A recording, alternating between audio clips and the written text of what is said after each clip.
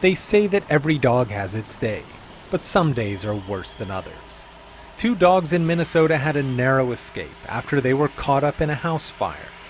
Fire crews that raced to the scene rescued the dogs, one of which was found unconscious, and treated them for smoke inhalation. The dogs were fitted with oxygen masks specially designed for pets and are said to be recovering well. Officials are still trying to work out what caused the fire on a freezing cold Dog Day afternoon in Duluth.